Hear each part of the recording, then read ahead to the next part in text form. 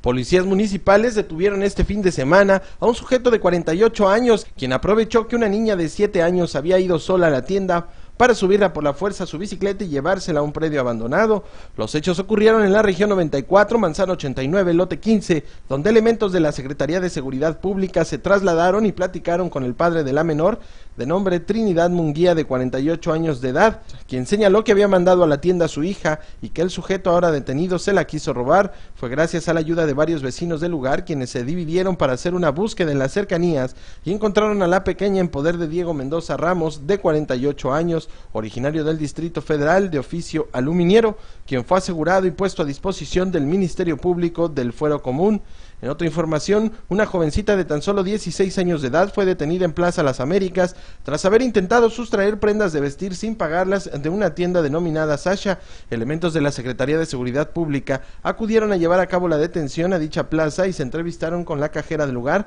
Rubicela Torres Arcos, quien les indicó que la joven ingresó a los probadores con una prenda y enseguida salió. Dándose cuenta que la prenda estaba rota, solicitó a que el personal de seguridad la retuviera. Cuando le revisaron sus pertenencias, llevaba una bolsa de plástico con varias prendas que no había pagado. Para Notivisión, David Valladolid.